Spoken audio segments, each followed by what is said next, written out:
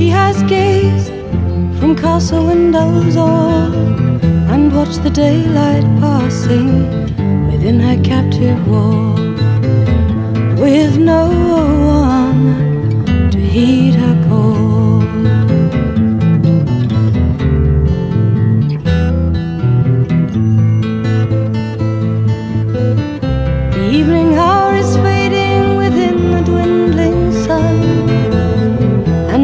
lonely moment, those embers will be gone, and the last of all the young birds flown.